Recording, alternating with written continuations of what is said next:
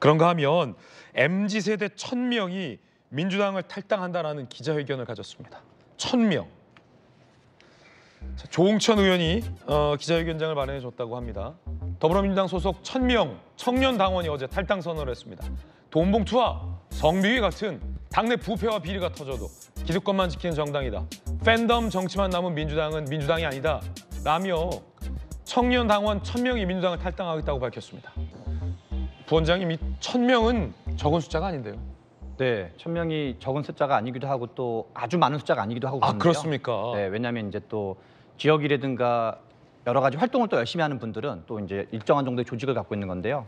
앞에서 이제 우리 안 의원님이 말씀하신 것처럼 이준석 대표와 이낙연 대표의 관계에서 지금 이준석 대표는 대체제 성격이 있는데 이낙연 대표는 현재로서 약간 보완제 성격이 있거든요.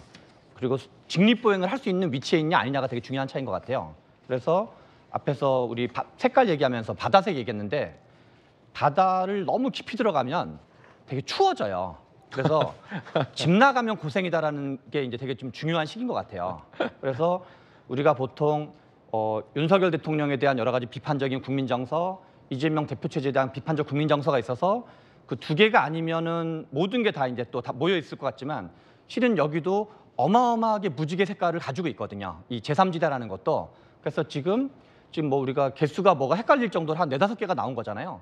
그런데 이 중에서 다 이제 이견 차이가 발생하고 있는 거거든요. 그래서 얼핏 보면은 어떤 기존의 양세력이 실어가지고 제3세력이 다 모일 것 같지만 이거를 모으려면 그만한 어떤 구심력, 쉽지가 않다. 강한 구심력이 없으면 이 쉽지가 않고 그리고 제가 보기에는 지금 이준석 대표는 그런 고민이 있는 것 같아요. 하나는 주도권 문제가 있는 것 같고 두 번째는 허은하 의원께서 그 국민의힘에서 10명 이상 탈당할 예정이다.